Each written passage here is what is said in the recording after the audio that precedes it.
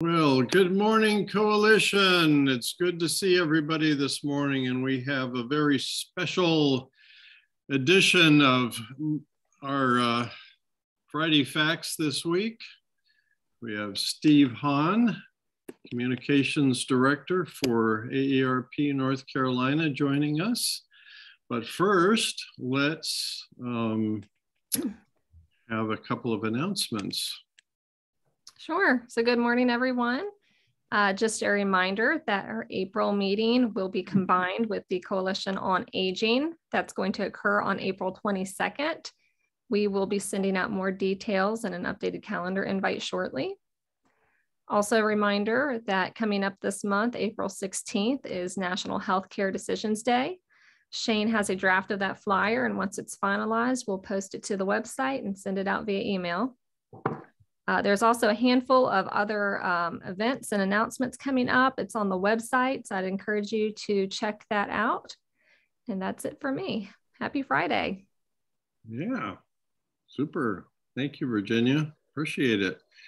So we have Steve Hahn, who is again the communications director for AARP North Carolina. And uh, good to have you with us, Steve. Oh, thank you. Thanks everybody for joining us. So, Steve, we want to know about who Steve really is. We've seen your, your happy face. You're the co lead on our um, communications, advocacy, and education working group here. But um, I bet there's a lot of things that people don't know about Steve Hahn. So tell us where you're from, what you did when you were growing up, uh, the aspirations you had, and and I'll ask a few other questions along the way. Oh, sure, sure. Uh, yeah, before I begin, I just uh, want to wish everybody a happy April Fool's Day. And uh, I already played one on my daughter this morning. I told her the storm damaged her school and there's no school today. And uh, she almost cried when I told her that, that it was the April Fool's joke. So I know the payback's going to be big tonight. So if you have any good ones uh, that won't get me uh, in any trouble, put them in the chat. Uh, anyways, uh, thank you, uh, Dave, uh, David. I kind of will follow the form that uh, most of you did, and I'll kind of go back. I'm a Midwesterner.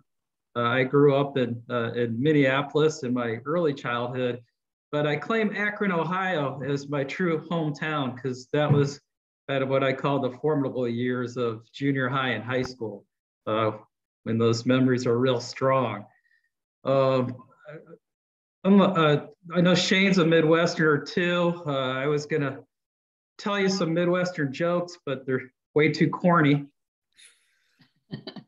Uh, so, you know, maybe my favorite Ohio joke is uh, the town of Mechanicsburg.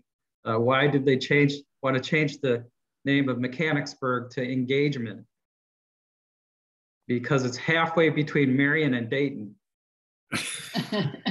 that's about the best that I could do there. But uh, I was uh, grew up in kind of a typical middle class uh, middle class uh, upbringing. Um, I know when I say Akron, Ohio today, everybody says LeBron James, LeBron James, but uh, my high school actually has a number of, of, of famous graduates. Uh, so if you're a music lover, I like to brag about Graduates from Akron Firestone High School include Chrissie Hynde of the Pretenders, uh, one of the members of the Black Keys, two of the members of the band Devo, uh, the uh, astronaut Judith Resnik, who unfortunately was part of the Challenger uh, that exploded. Um, so number of uh, kind of famous people out of my little high school in Akron, Ohio. Um, oh. So I was a pretty typical kid. I loved sports, um, in particular basketball. Uh, but when I stopped growing in about the eighth grade, I knew that I had to get more serious about school and uh, find some other interest quickly. And so uh, uh after graduation um, from high school, uh, I went to uh, Bloomington, Indiana to attend Indiana University. And so I don't know if people are movie buffs and they saw uh, the movie Breaking Away in 1979. Uh, but that movie had some type of impact on me, and I wanted to visit the campus. And when I saw it, I fell in love with it more so than any of the Ohio schools. So I made my way down to Bloomington, Indiana, and studied uh, telecommunications there as my major. And so at the time, I was still aspiring to be funny, to be a comedy writer. Most of my school projects uh, for telecommunications uh, were original comedy comedy skits, and so I, I really enjoyed doing that. Um, after graduating, um, I actually went and tried my hand at some stand up, and I was way too nervous. And I followed some acts that were way too polished and better than, than me. Uh, luckily, I didn't tell many people I was doing that, but my best friend and his dad at the time saw it and probably teased me about it for the next 30 years or so. so uh, I found kind of a, a more serious track. Uh, my first job, real job in television, uh, was producing a program for the American Federation of Teachers in Washington, D.C. So I was uh, hired to uh, be a production assistant and really the promotions person for a program called Focus on Education. And this was a half hour public affairs TV program that was hosted by Edwin Newman, if you remember Edwin Newman from NBC News.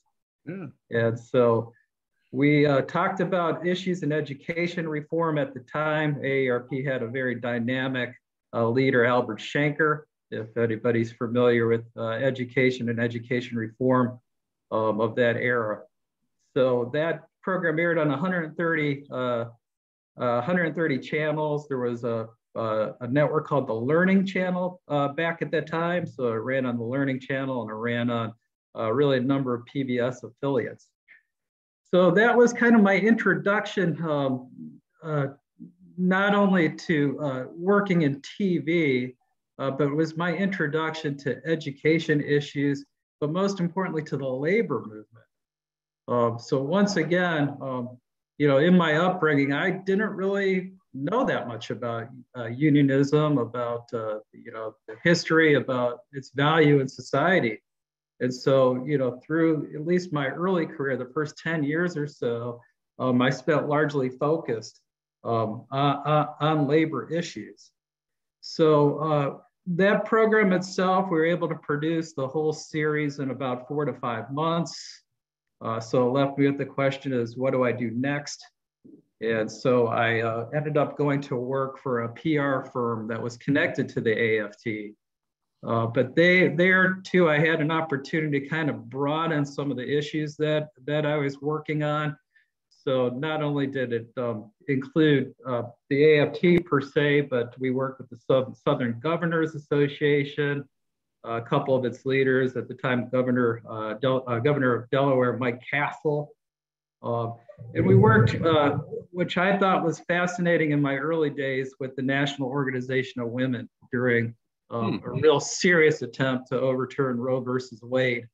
And so that was really a great experience early on um, to, to introduce me to top tier media who were following that um, and, and leaders uh, of the women's uh, of the women's movement too, which led to some kind of additional work down the line. Was that in the uh, Gloria Steinem era? Well, no, this was uh, this was af- after uh, I don't know if you know Patricia Ireland, uh, names mm-hmm. like that. Yeah. Oh, you are Patricia Ireland. Those were the kind of leaders of the movement back then. Gotcha. Um, I was so green, you know, they would, I got very lucky. They would call on me for some strategic decisions. It was mostly guesswork at the time, but it all turned out very well. So, so I look at it as kind of a combination of right place, right time, and, and a lot of good luck uh, working with them. So uh, after that, uh, um, after that, uh, uh, while I was at that firm, we did just a whole, still a whole lot of work for the AFT, and I think they were probably scratching their heads, uh, thinking, why are we paying agency fees to a person we had for a whole lot less? So they uh, ended up um, hiring me back to do an organizing campaign for them in Indiana. So for you political junkies out there, the young Evan Bayh, uh, when he was first elected governor of Indiana, had promised the state uh, employees who never were able to form unions collective bargaining rights. And so uh, every major union went into the state with the hopes of organizing about 36,000 state employees.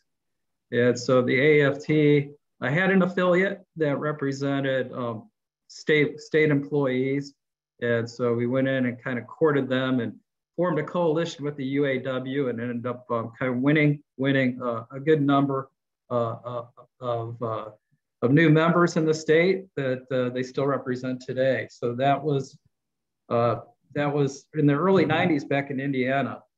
Um, so after that organizing campaign, I was kind of eager to uh, come back to DC. I, I kind of liked it. Still, you know, had my friends in Washington. And so um, I went to work for another uh, union, uh, and the, the union is, was called the International Union of Electronic Workers. Hmm. And uh, they now merged into a larger union, so they no longer exist. Um, but at the time, the, the strong debate at the time was NAFTA. So I don't know if you remember Ross Perot and that giant sucking sound that he talked a lot about. and the, the fear out there that so many US jobs would disappear and be lost to Mexico and China and elsewhere. And so the president of, of the union was a very, very vocal opponent of this. And he was a little known guy in the labor movement. He didn't really have any leadership positions within the larger body of the AFL-CIO, but we're able to create a lot of visibility for him. And so the other unions took notice. And so uh, me and a friend of mine at the time, um, also from the IUE, uh, formed a PR firm called Tricom, Associ- Tricom and Associates. And there too, we um, really um, targeted some of the other labor uh, work that was out there. So we uh, probably the highlight of that time was we have we were working with the American Federation of Government Government Employees, uh, John Sturdivant, during the first government shutdown. Um, so those that remember Newt Gingrich and company, um, it was something that was uh, very shocking to most Americans, you know, for the federal government to be shut down. So uh, we just really had a number number of events to get their message out um, at the time, which to me was incredible because it was almost like being in a presidential campaign where uh, you know we'd have a room and there'd be probably 40 50 tv cameras um, in the room because so much public attention was focused on uh, what's going to happen and when this is this going to end so that that was great great. Um, largely, you know, we worked with a number of the other uh, unions. We had work from the from the Teamsters, from the AFT, uh, from the IBEW, um, a lot of good stuff. So Tricom still exists today. Um, I was in its early days. I was, you know, working seven days a week for probably very little pay at the time, and I said, well, there's got to be an easier, easier way. Uh, I didn't have a lot of uh, confidence that I could continue at that kind of that pace. So, so you, were working in, in DC at the time. You were living yeah, there. So yeah. So this firm's uh, still based out of Arlington, Virginia. So uh, from there, I, I kind of joined forces with another, a little more established firm at the time. They're a polling firm um, called Fingerhut Powers and Smith. Uh, they too had a lot of labor representation. Uh, so their clients uh, had, two had some overlap with Tri, TRICOM, but they didn't have any media relations capabilities there. So they they did polling, they did some writing, uh, print production, and other things. So I went to uh, this firm and I kind of started a media relations function for them that they're able to offer as an additional client service. Uh, probably the highlight there um, was uh, my work with the Utility Workers Union. Um, that was the time when regu- deregulation was first being discussed. And uh, the, that union was really the strongest voice in sounding the alarm and what could be the ill effects of deregulation. And when I look back um, at some of the stuff that we produced, it was like a crystal ball. Um, when we look what happened in Texas, uh, when we look at Enron, when we looked at some other things, it was just mm-hmm. amazing the foresight um, that they presented. But they were successful at least stopping mandatory deregulation in a number of states. And so that, uh, to me, when I look back, was kind of the highlight of my experience there. And so uh, while I was at Fingerhut Powers and Smith, a good friend of mine at the AARP uh, that I had known uh, from way back uh, to my first days at the AFT said, I've got, there's a job here. I think you'll really like it. Uh, so I went, uh, I left, I left uh, that firm to do a stint with the national office at the AAR, AARP. And it was just a terrific experience for me. Um, that's really, truly where my health education began.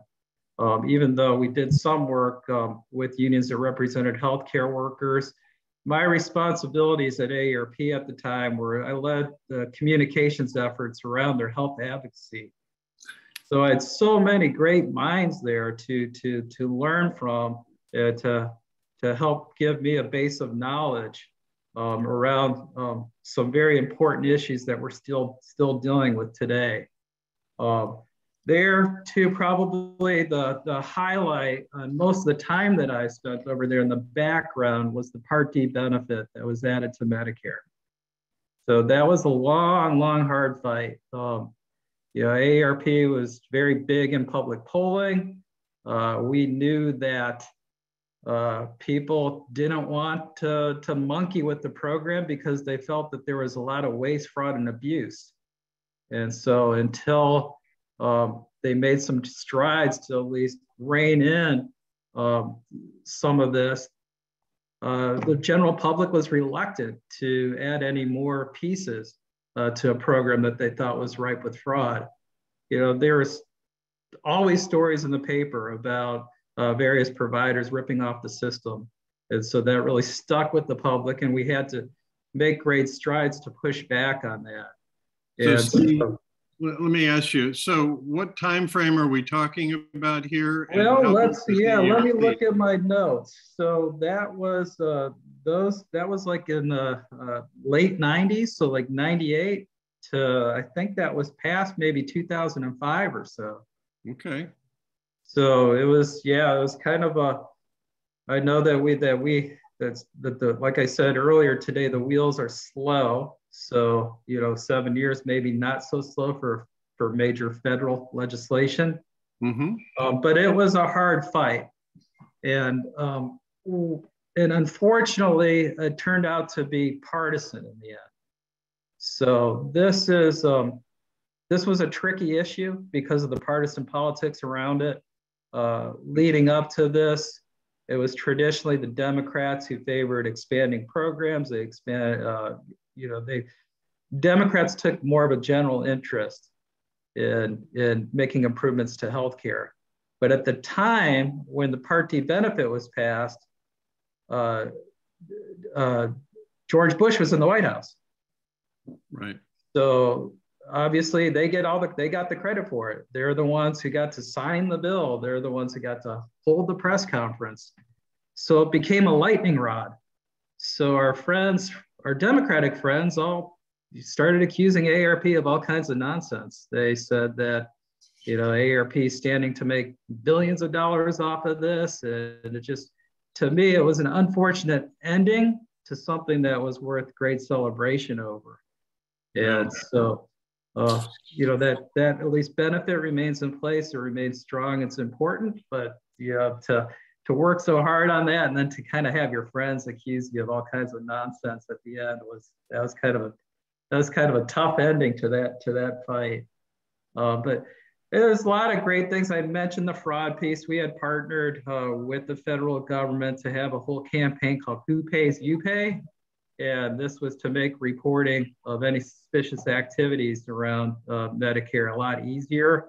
Uh, for the most part, I don't know if you still get the mailed statements, but people would get their mailed statements and throw them out. They, you know, Medicare's paying for this. What do I need to worry about it? So we encourage people to review those. If there's anything suspicious in there, uh, we gave them some easy reporting mechanisms and it ended up really working well. So they, you know, I, I don't have the, I don't remember the final number at the time, but it saved millions and millions of dollars through some of this reporting that that campaign produced. So, uh, Steve, let me yeah. interrupt you. So at some point along here, you got married and you started having kids. So tell us just a yeah. little bit about your your beautiful wife and, and what she does yeah, no, I'd love to because uh, I got married uh, kind of later in life. I was uh, I was uh, bachelor into my early 40s, and I, have been married now almost 12 years. My wife is uh, she is a musician and a program administrator. Uh, her her her real job is she's the music program director of the National Gallery of Art, so she's still back and forth to Washington. Uh, but here in North Carolina, you can catch her every now and then. Uh, she's invited to perform. She's a classical pianist, so there's you know some demand for that. So this weekend she's uh, doing another program with the North Carolina uh, Symphony. Uh, for anyone who's in Charlotte who likes classical music, I think there's another performance coming up at the end of the month. Uh, but if anyone's interested in any of that, happy to happy to share those opportunities and, and any comp tickets that are passed along uh, through that. Uh, but uh, so let's let's go kind of more directly to the healthcare piece of this. Um, yeah. So I left AARP. I was looking for broader management experience. I had a small team there, and I went to CMS. And while at CMS, I ran the press office. Uh, so I uh, managed a larger group. So I went from three to 15. Um, mm-hmm. What I didn't realize it's when I took that job is that every healthcare company in America is trying to pick off those employees on a daily basis, um, thinking that they're going to get some type of greater access or inside scoop on some of the reimbursement pieces um, that they're responsible for. So I'd get daily calls, you know, I'd get calls from headhunters, friends, all these things. And so I had a friend who called uh, another AARP contact. She was at AstraZeneca. She said, You're going to love this. And from a federal employee salary to an AstraZeneca salary, I, my eyes were wide open. And so I went up and I joined, joined AstraZeneca for about four and a half years, where I was in corporate communications largely responsible for their feel good pieces. So, you know, we all know the scrutiny on the industry, uh, but they also did a lot of good things, especially in their hometown state of Delaware. Uh, so, I was responsible for their patient assistance program. Uh, I was uh, did a lot of um, a lot of stuff around quality measures and you know how this all fits in. Uh, so it was really a, a great experience in addition to um, having an opportunity to uh, work with global colleagues and to, to do, do things that, that were a real terrific experience. But as David mentioned, um, uh, you know, my wife, I got married while I was there. She was in Washington, so I wanted to come back. Um, and I got a job with the uh, with ASCO, the American Society of Clinical Oncology. And uh, there too, I was uh, I led their policy communications. Uh, probably the proudest achievement there, which is still up today. If you go onto their website, uh, you see an interactive timeline of progress made against cancer. Um, it's called cancerprogress.net.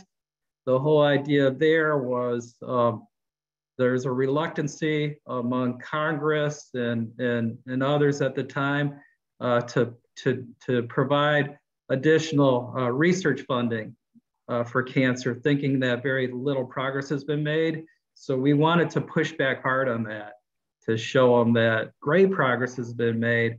And so that's kind of the genesis of this timeline was to demonstrate that, you know, that, you know, we're think not thinking about this right, that there's been just tremendous progress and we need to keep it up.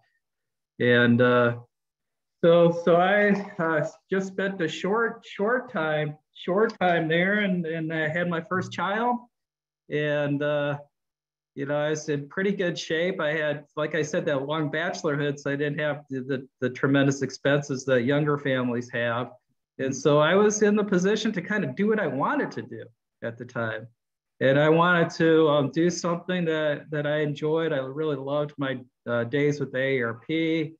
Um, while I was at the national office, I got to visit so many state offices and just really loved that small team. I love to be close to the members, uh, to see quicker progress being made uh, through through local and state government action. Um, I just really enjoyed that work. So I wanted, I said, well, this is this would be a great experience uh, to come into a state office. And so I've been here in North Carolina now, uh, unbelievably, for 10 years. And uh, so I've had just a great experience here. Um, I've gotten to work with all of you. Uh, the issues that, that we have are, are, are so important to, to so many people. And so I feel, you know, every day I kind of wake up with a mission in mind and I feel, you know, uh, my work is meaningful still. So kind of that's where we stand, you know, in a, in a snapshot. I hope uh, I didn't bore everybody uh, uh too much today with that. And uh, just kind of turn that over if we have a few more minutes to David or any of you who have any other questions. Well, we, we have one from Charlotte here, Charlotte Sweeney. Uh, what vision is, in your view, for the greatest achievement AARP can achieve through the Serious Illness Coalition? What what, what uh, connection do you see? I see it's re- it's the support for family caregivers. Uh, you know, so many of us are in that situation. Um, so many of us are in the situation. We have, I forget, 1.7 million family caregivers uh, in the state. Uh, many are, you know, strained. I just, you know, my dad became seriously ill and it was quick. So I was, I was fortunate. But I know people for years and years who have to juggle work and family and other things and uh, often paycheck to paycheck to take care of their loved ones. So I think any progress that we can make uh, to support family caregivers through uh, community support uh, programs, uh, through information resource and the advocacy that we do is going to help so many people. yep. That's great. That's great. And certainly a lot of folks uh, on the call right now are engaged in caregiving and, uh, and, and supporting of that. So that's wonderful, Steve, and we appreciate your your strong uh, encouragement in that regard. So you've won an award or two along the way. Just I know you you don't like to brag, but uh, tell us just a little bit about one of the one or two of those things that uh, you're most proud of. Well, yeah, I mean a few things. Uh, AARP probably when I was at the national office, I kind of won their uh, communications uh, MVP award uh, mainly through you know sweating bullets through all that through all the Part D uh, stuff for being the guy that had to deflect all the negativity at the end. Uh, you know, for you know just immense coordination um, there. There's mm. you know between the national office, all the field offices, and all the uh, uh, departments at AARP at AARP. Um, I I, I like to joke that you know at the time I would uh, have to sneak out of my office at about 7:30 at night. Oftentimes I just leave my suit jacket on the back of my chair so people would still think that I was there. But it was uh, really just an intense an intense time, uh, an intense time. So uh, I, I, I like the the work balance that I've been able to achieve in, in North Carolina and uh, I've liked the extra opportunities that I've been provided through working with, with you all. I also serve as board chair, uh, temporary board chair for Friends of Residents. Uh, if you're familiar with, uh, with that group, also doing very important work in, in nursing home advocacy and, and long-term care. Yeah, and it's much appreciated, Steve. I know Lauren Zingraff and Bill Lamb and company all appreciate that. And uh, we're we're working to to build more uh, collegiality between all of these different organizations, and you're doing a superb job of helping facilitate that. So thank you. Well, Steve, this has been great. Um, Mark says uh, we at AARP are so fortunate to have Steve on our team, and that's absolutely true. Um, he makes us all look good. Yeah. yeah, we feel the same way about Mark and everybody involved. Uh, I, I, know everybody has a little, at least a little bit of connection to AARP. So uh, yeah, I can't thank you enough. Well, we absolutely uh, do. And, and Steve, this has been great to uncover the, uh, the, the history a little bit. And uh, we know there's a lot more in there, but uh, that's been a great summary of, of many years. Uh, aspiring to, uh, I suspect SNL at one point. Uh, you Yeah, I know. Michael. Focus on Education was a far cry from SNL, but uh, There's still time, Steve. Yeah. You know, you've got a third, you've got a third chapter that comes up and we've That- got a lot right. of people that are living their best life now. So don't give up yet. that's Yeah. right. I need to learn how to be funny again.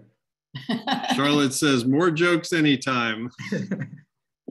Be kind to that little girl tonight when you, when she comes yeah, home thank you. Yeah, Yeah. be careful out there. I know some of these April Fool jokes will Absolutely. they get you. Thanks so much. Everybody, all have a great Friday and uh, weekend. Don't uh, don't take April Fools too uh, too seriously. Thanks, Steve. Bye now. You all take care.